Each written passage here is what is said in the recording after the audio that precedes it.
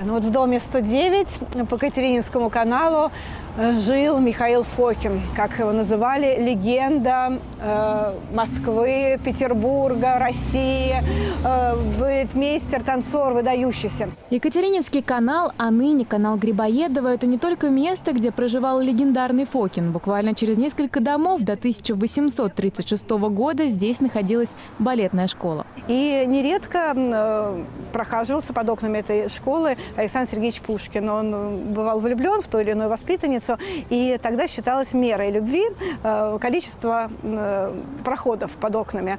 И вот помнили Пушкина здесь, в испанском плаще, который тут нередко тоже бывал. Вдохновленный легкостью и грациозностью танцовщиц, поэт посвящал им стихи и даже поэмы. Истомина у Пушкина появляется в Евгении Онегине. Да, мы все помним, стоит Истомина, она одной ногой касаясь пола, другой медленно кружит, и вдруг рывок, и вдруг летит, летит как пух из уст Эола, то стан совьет, то разовьет, и легкой ножкой ножку бьет. В своих произведениях поэт не раз вспоминал ее имя. Авдотья Истомина была одной из лучших балерин школы Дедло. Именно в ней Пушкин видел идеальную представительницу русской школы танца. На Театральной площади или на улице Глинки по старому стилю жила артистка. Ну а сам Мариинский театр по-прежнему продолжают называть домом балетмейстера Пятипа.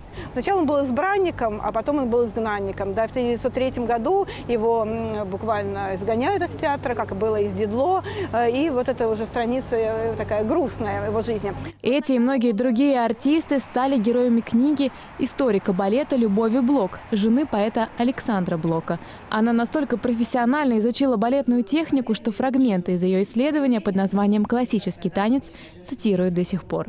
Чтобы сегодня повторить то, что было вчера, нужна новая интенсивная работа. Каждый день все сначала, с азов. Если вчера танцовщица мастерски протанцевала балет, сегодня, завтра посидела дома, отдохнула, что всегда так благоприятно для творчества драматической актрисы, послезавтра тот же балет она уже не протанцует. Артистам приходится трудиться постоянно, а вот местом для отдыха и жизни многие из них выбирали английский проспект.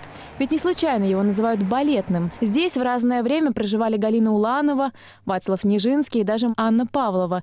И до сих пор Коломна по-прежнему остается излюбленным местом для танцоров балета. Елизавета Летавина, Никита Баранов, Лайв 78.